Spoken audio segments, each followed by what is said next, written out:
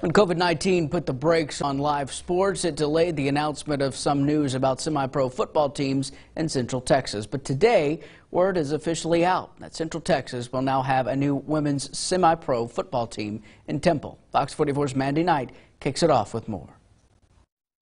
When it comes to women's football, there can never be too many teams. Our main goal is always going to be advancing the opportunities for women in male dominated industry and helping stop an end to that gender bias and more opportunities for more women in a broader area. So I'm actually a football official, though I'd always wanted to play, but really the opportunities they may have been there, but it wasn't openly advertised. And I figured, you know what? You can't tell other people to keep breaking barriers if you're not doing them yourself. Take the leap. Now is the time to do it. The Coyotes were in the process of becoming a sanctioned WFA or WNFC team, and then COVID 19 happened. COVID all around the world, it really had everybody have to tackle adversity head on. But our board, Central Texas Coyote as a whole, we took it as an opportunity to get our core fundamentals in place, continue to build a really strong staff. So, with that came trying to get sanctioning opportunities. So, in our case, we're really focusing on trying to completely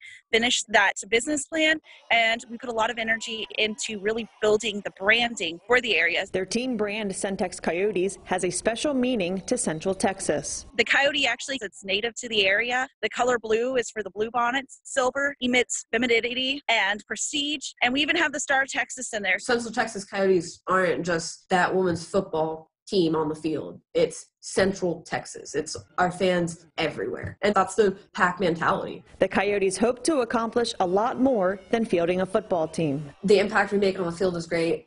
The impact we make to our local communities and women's sport in general, that's the main thing. A small event benefiting those small businesses that especially need our help after COVID. They'll announce their head coach next week, but still have other coaching vacancies. If interested in playing or coaching, contact them on Facebook or email centexcoyotes at gmail.com. Reporting for Fox 44 Sports, I'm Mandy Knight.